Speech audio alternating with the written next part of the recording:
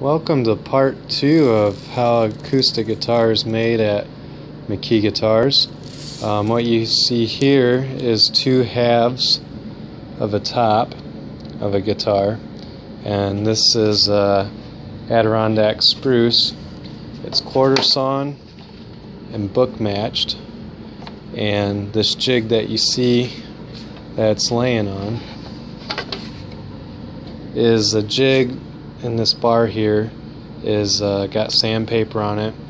And use it to straighten out the seam there. And then you glue and join the two pieces together.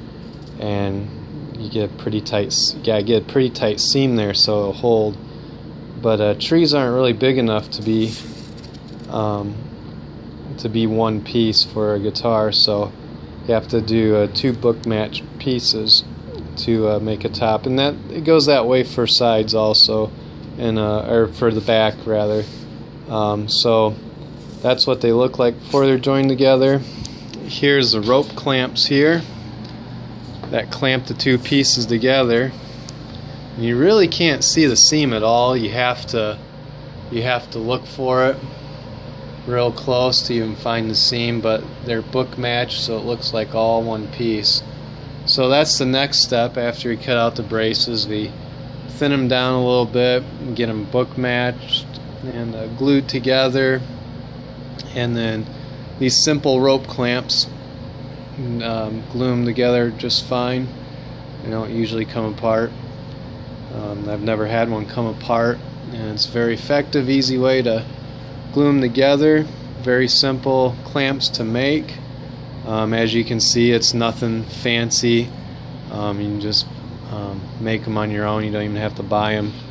Um, and also, too, the jig for sanding that joint is very simple and basic, and it's not real high tech or anything. So that's the next step. And then, then once they're joined, um, my thickness sanding machine here, it um, it puts the thickness to my top and back plates and the sides and saves me a whole lot of time in sanding. And uh, once I get them joined together I'll run them through there and even up the seam.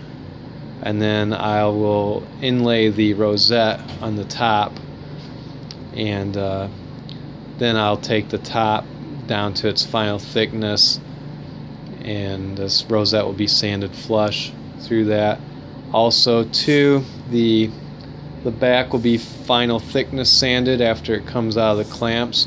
It will be cut out to its shape it's going to be and get ready for uh, the braces to be glued on.